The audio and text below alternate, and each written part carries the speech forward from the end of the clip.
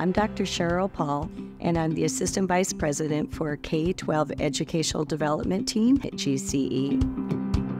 I think as I reflect back on all of my years in the public sector and hopefully teaching and modeling character education, one of the most significant ways was just through questioning. Sometimes we think character education is this big and bodacious thing, when quite frankly, it's very simple. It's, it's being kind to one another, and it's aspiring for a more compassionate and empathetic society. So I lead lots of times by just asking questions. How did that make you feel when you shared that toy? How did that make you feel when you were excluded from that overnighter or that birthday party? It's really asking questions and get the onus on the individual so that they aspire to have those good character traits. And then we continue to elevate and reinforce those traits that are in them already. They just need to be enhanced. As a former superintendent, some practical applications was truly identifying the students that were in our system that were currently in foster care and ensuring that we could provide them with suitcases.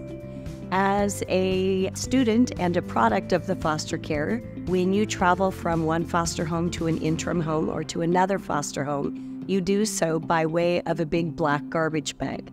So, in order to elevate and cultivate dignity and respect for each student, want to make sure that every single student has their own traveling suitcase so that they see it as an opportunity rather than something that's happening to them. I think starting with character education in the classroom, it's first identifying what is it? Because it's self discipline, it's being resilient, it's being courageous, it's showing respect, it's showing responsibility. So, really identifying it and then describing it in age appropriate language and also bringing the parents in and the community right away when you're doing this so that there's a line of sight and that all stakeholders that are involved in upbringing that child or that classroom are involved in consistently giving the same messages. I hope that all educators throughout all K 12 ecosystems are encouraging, teaching, enhancing, and reinforcing character education.